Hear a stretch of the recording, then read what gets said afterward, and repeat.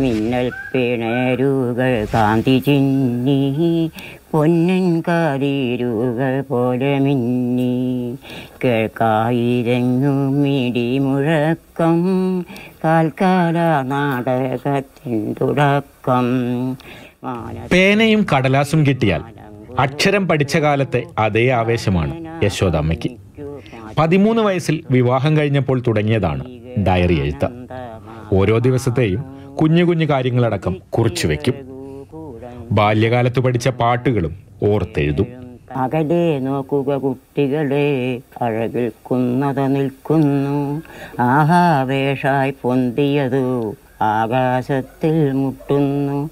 പക്ഷികൾ പാടും കാടുകളും പൂവിരിയും പല വല്ലികളും കാലികൾ മേയും പുൽത്തകിലും സ്കൂളിലേക്ക് പോകുന്നതിന് മുമ്പ് ഇതൊക്കെ കുറപ്പടിച്ചു പഠിച്ചു. ഗുരുനാഥന്മാർ നാട്ടിൽ നിന്ന് വരും? ഇങ്ങനെ ഏതെങ്കിലും എന്തെങ്കിലും പണിക്ക് വരുന്നില്ല മനുഷ്യന്മാർ അതുപോലെ എല്ലാം പഠിപ്പിക്കുക. അങ്ങനെ ഇങ്ങനത്തെ ഓരോരോ തറവാട്ട് വീട്ടിൽ വെച്ചിട്ട് അടുത്തുള്ള കുട്ടികളെയൊക്കെ വിളിച്ച് അവിടെ വെച്ചിട്ട് പഠിപ്പിക്കുക.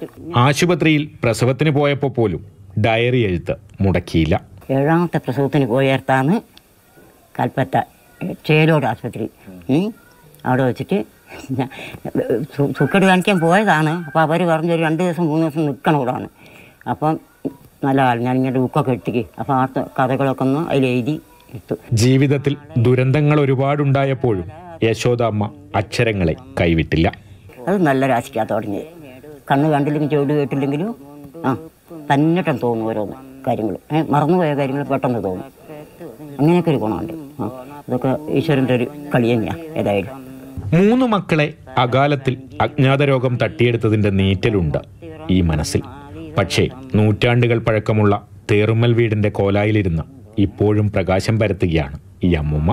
പാടത്തിൻ വക്കത്തു നിൽക്കും ഓണപ്പൂവുമായി കൊഞ്ചും ദിവസം. പുസ്തക സഞ്ചിയുമായി തങ്കം ഒത്തിറങ്ങുന്ന ദിവസം. എന്റെ പേര് എഴുതിക്കോ കമൽ.